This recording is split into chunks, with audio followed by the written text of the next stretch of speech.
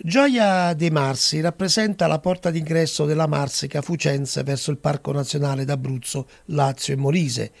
Il paesaggio che avvolge questo accogliente comune abruzzese è un prezioso connubio di natura, storia e sapori genuini. Ma qual è la principale attrattiva del paese? La migliore attrattiva è innanzitutto la potenzialità turistica che il comune di Gioia dei Marsi, perché sono anche sindaco di Gioia dei Marsi, ma diciamo che è un fattore comune per tutte le piccole comunità della nostra provincia, della provincia dell'Aquila.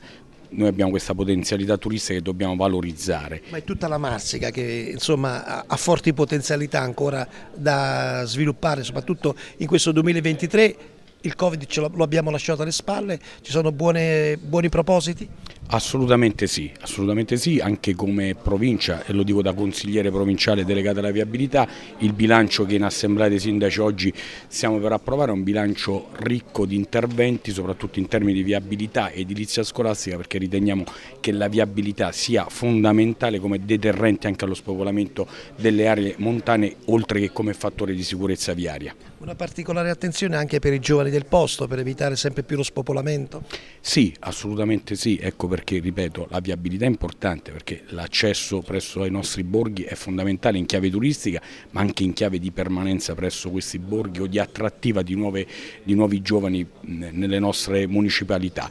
Poi eh, c'è bisogno anche di interventi importanti per riavviare le potenzialità turistiche che abbiamo e ad oggi ancora totalmente inespresse. E bisogna fare rete anche con tutti gli altri comuni per cercare di sopravvivere, dobbiamo dire, perché i piccoli centri del centro-sud Italia sono in forti sofferenze.